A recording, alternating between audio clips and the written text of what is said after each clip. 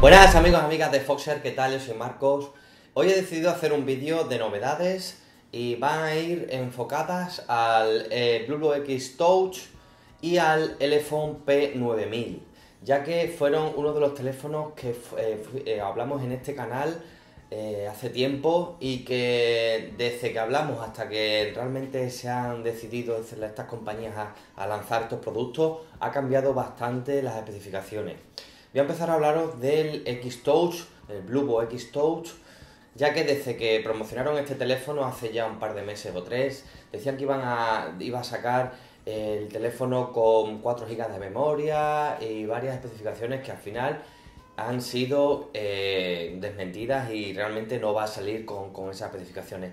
Este teléfono eh, tiene un diseño muy bonito en la parte trasera y hace poco eh, publicaron un vídeo de Ceblubo en el que se veía cómo esta parte trasera no era de cristal, sino que es de un material eh, tipo plástico y que está hecho supuestamente con impresoras 3D, con el que han conseguido hacer ese diseño eh, tan bonito que ya tiene también el iPhone S2 y que es tipo eh, prisma y un poco rubí o así, eh, que la verdad que es bastante chulo. Esta parte trasera es de plástico, como digo, y es bastante flexible, os dejaré el vídeo detrás para que lo veáis.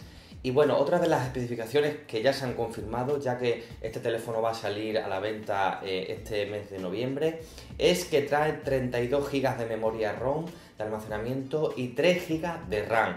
Decían que iban a, salir, a sacar una versión light, una versión pro, al final se ha quedado en esta. Y como digo, eh, trae también una pantalla de 2,5D, esa, curvatura que, que, tan conocida por todos. Y también una protección Gorilla Glass 3, que además se han hecho, se han hecho vídeos de test de resistencia con esta pantalla y test de caída también. Y este teléfono aguanta golpes y demás.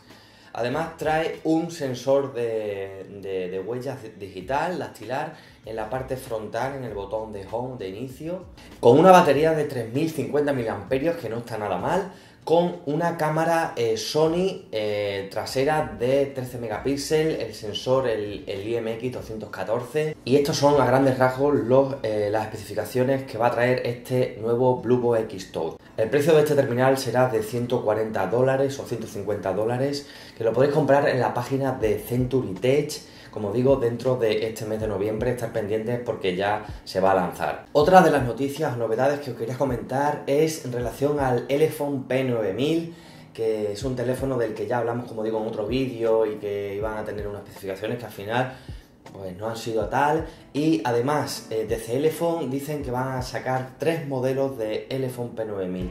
Va a ser el Lite, el P9000 a secas y el P9000C.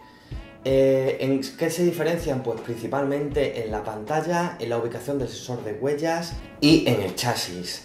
Eh, las especificaciones para el P9000 van a ser de un terminal Full HD con una pantalla casi sin marcos de 5,5 megapíxeles y con eh, un sensor de huellas que va a ir ubicado en la parte lateral. Una cosa novedosa y que no hemos visto todavía en ningún terminal.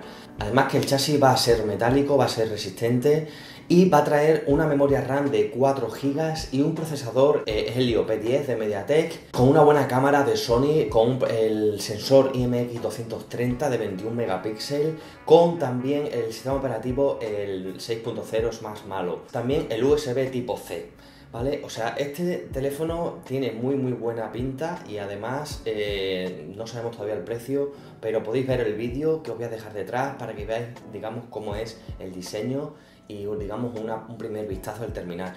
Si eh, hablamos del P9000 Lite, la diferencia es que trae el sensor de huellas en la parte trasera, también la pantalla va a ser sin marcos y lo que dicen que va a cambiar un poco va a ser en la calidad de la cámara, va a ser un poco menos buena que la del P9000. También el precio lógicamente va a ser más reducido.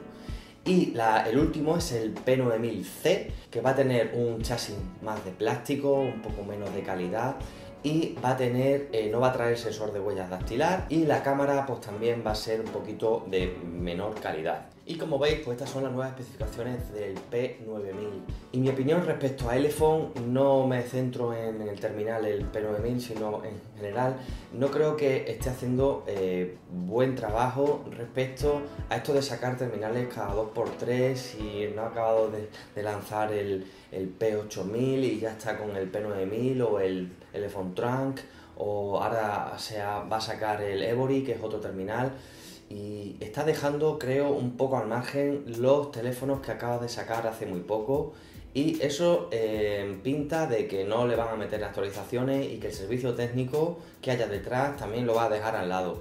Por lo que si compramos un terminal Elephone se nos va a quedar obsoleto en cuestión de meses. Y creo que eso, en mi opinión, pues no, no creo que esté bien por parte de Elephone. Esto de tener que sacar terminales cada 2x3 y, si es que apenas ha salido uno y ya tenemos otro. Pero en fin, lo que os quería decir es, son las especificaciones del P9000. Pues otra de las cosas que quería también comentar y que no se me olvidara era que por favor aprovechéis el día 11 de noviembre en AliExpress, ya que van a haber muchas ofertas de terminales a grandes descuentos y es una de las oportunidades que tenéis para haceros con un teléfono a un buen precio y que también aprovechéis las ofertas que os he comentado últimamente en los vídeos en las tiendas de Hopteam, Century Tech y Gifting, ya que eh, pues también son muy interesantes. Y otra cosa que está incorporando ahora AliExpress es que va eh, a ofrecer un servicio de reparación móvil que eh, pagando unos 2 euros, de 2 a 7 euros, he visto yo que hay una diferencia entre, depende de qué terminal, pues os van a ofrecer un año de garantía. Y este servicio la verdad que es bastante bueno para nosotros, ya que nos ofrece eh, recogida en nuestro domicilio del terminal, se lo llevan al servicio técnico, que es por haber visto una empresa que han, digamos, eh, hecho un contrato de colaboración, ellos lo reparan y nos lo vuelven a enviar a nuestra casa y por solo 2,4 euros o 7 euros creo que merece mucho la pena. Esto es aparte de la garantía que tenga la tienda en la que compremos de un año, pero esa garantía eh, hay que enviarla a China el teléfono para que nos lo reparen. Y creo que esta opción de AliExpress, que es nueva y novedosa, pues nos viene muy bien a todos. Pues muchas gracias por seguir este vídeo de novedades y demás y nos vemos en el próximo vídeo. Hasta luego.